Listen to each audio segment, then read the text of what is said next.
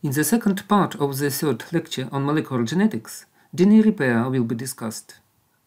We will briefly describe such changes in DNA structure as depurination, deamination, methylation, dimerization, pyrimidine dimers, breaks, and interstrand crosslinks. Question 3.2 DNA repair. DNA inside cells is repeatedly damaged by chemicals and radiation from the environment, as well as by thermal accidents and reactive molecules. If left uncorrected when the DNA is replicated, most of these changes would be expected to lead either to the deletion of one or more base pairs or to a base pair substitution in the daughter DNA chain. The mutations would then be propagated throughout subsequent cell generations as the DNA is replicated. Such a high rate of random changes in the DNA sequence would have disastrous consequences for an organism. Maintaining genetic stability requires mechanisms for repairing the many accidental lesions that occur continually in DNA. Of the thousands of random changes created every day in the DNA of a human cell by heat, metabolic accidents, radiation of various sorts, and exposure to substances in the environment, only a few accumulate as mutations in the DNA sequence. All the other are corrected. Special cellular mechanism DNA repair is responsible for keeping all changes in the DNA structure to a minimum. It restores the correct nucleotide sequence of a DNA molecule. The double helical structure of DNA is ideally suited for repair because it carries two separate copies of all the genetic information, one in each of its two strands. Thus, when one strand is damaged, the complementary strand retains an intact copy of the same information, and this copy is generally used to restore the correct nucleotide sequences to the damaged strand. There are multiple pathways for repairing DNA. Different enzymes act upon different kinds of lesions. Many types of DNA damage can be corrected by more than one pathway of repair. Nucleotide excision repair, cut and patch repair, is repair of bulky lesions introduced into DNA by damage, such as then induced by ultraviolet light. Defective segment is excised and correct bases are inserted by DNA polymerase by using the complementary strand as a template. Mismatch repair is correction of unpaired or mispaired bases in DNA strands, resulting from errors introduced during DNA replication by excision of defective single-strand segments and synthesis of new ones. Post-replication repair is a mechanism that allows DNA synthesis to continue across damaged regions of DNA when the lesions have not been repaired prior to replication. The gaps resulting in the daughter strands are filled in by recombination with intact undamaged parental strands. In bacteria, SOS repair is activated if many single-stranded regions become exposed. In this case, gaps are filled in different nucleotides because the DNA template is read with reduced fidelity. Cells survive, but SOS repair leads to mutations. Nucleotide excision repair and post-replication repair are forms of dark repair because they do not depend on visible light. Light repair or photo repair is possible under visible light. It will be described later. Changes in the DNA structure.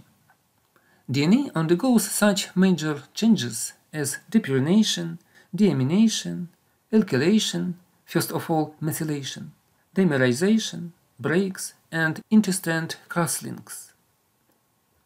Depurination is a loss of purine base from a nucleotide. The apurinic site cannot act as a template in replication and transcription. It is removed and replaced by correct nucleotides during base excision repair.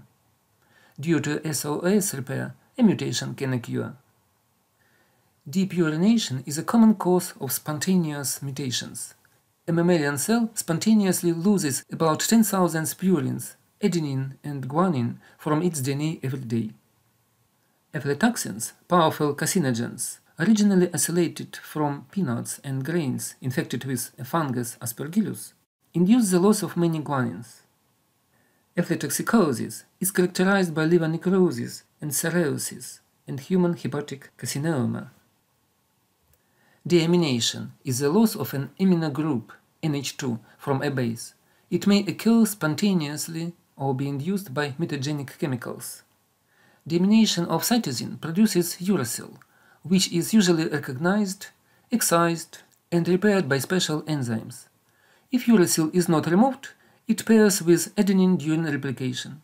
After another round of replication, the adenine will pair with thymine, created a TA pair in place of the original CG pair, and mutation will occur. About 100 cytosines are deaminated in a mammalian cell per day.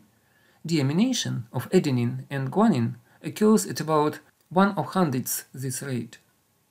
Some cytosine bases in DNA are naturally methylated and exist in the form of 5-methylcytosine, which, when deaminated, becomes thymine. This change cannot be detected by DNA repair systems because it produces a normal base, thymine. Because thymine pairs with adenine in replication, the deamination of 5-methylcytosine changes an original CG pair to TA. Methylation Alkylation is the addition of alkyl groups, methyl CH3 in the case of methylation, or ethyl C2H5 in the case of ethylation, to certain positions on the bases. Methyl groups are transferred by enzymes called methyltransferases. The extent of cytosine methylation varies. In most animal cells, about 5% of the cytosine bases are methylated, but more than 50% of the cytosine bases in some plants are methylated. The level of methylation generally correlates with the transcriptional state of a gene. Active genes are less methylated than inactive genes. Methylation is involved in gene expression and plays a role in a variety of epigenetic mechanisms, including development, X chromosome inactivation, genomic imprinting, mutability of DNA, and uncontrolled cell growth in cancer.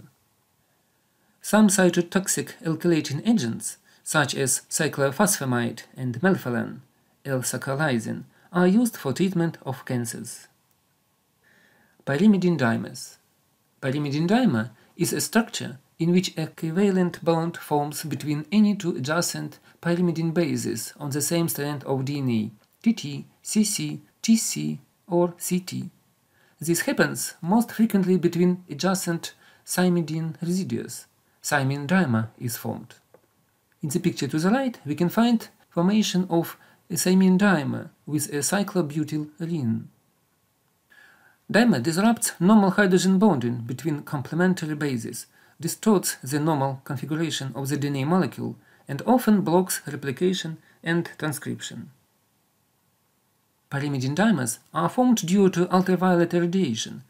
Nucleic acids are characterized by a strong absorption at wavelengths near 260 nanometers.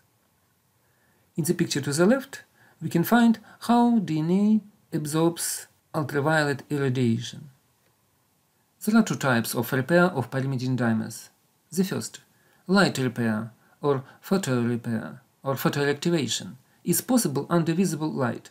Special enzyme called DNA photolyase or photoreactivating enzyme binds to the photodimer and breaks the additional covalent bonds that link the pyrimidines in a dimer.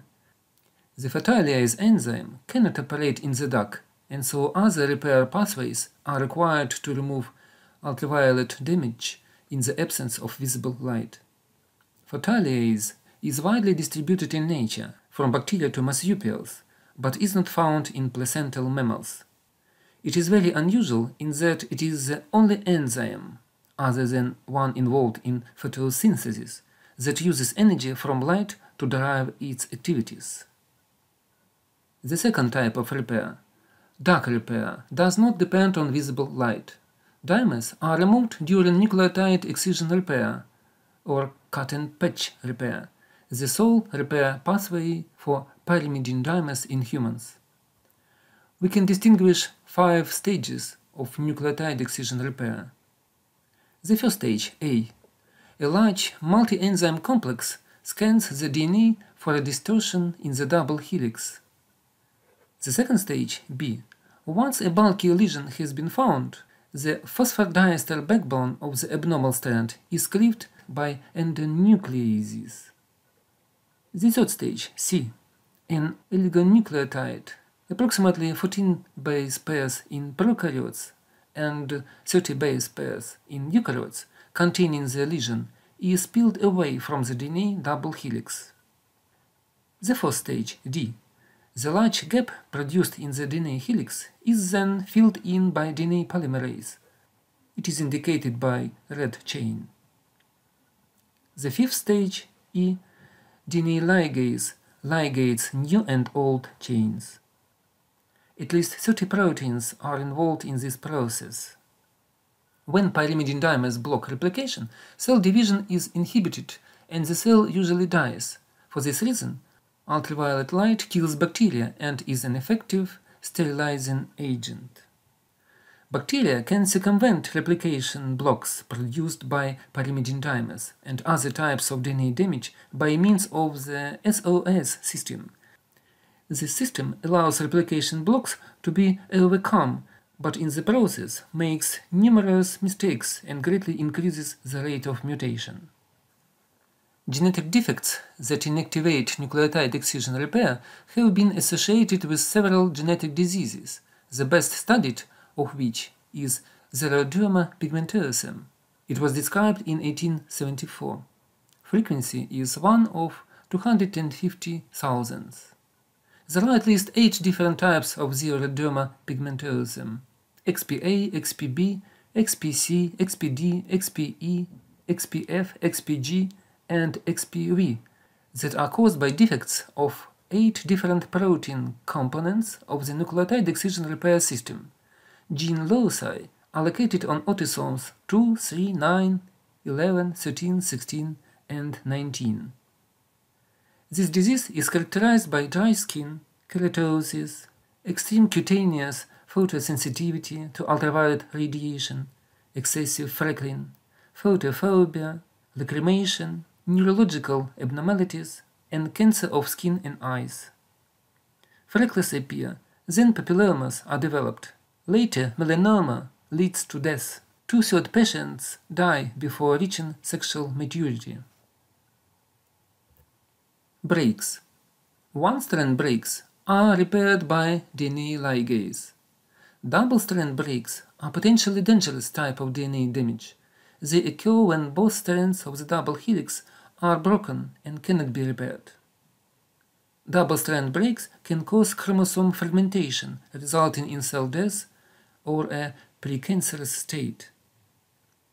Breaks are caused by ionizing radiation, X-rays, gamma rays, and cosmic rays that destroys phosphodiester bonds. The last type of DNA changes is interstrand crosslinks.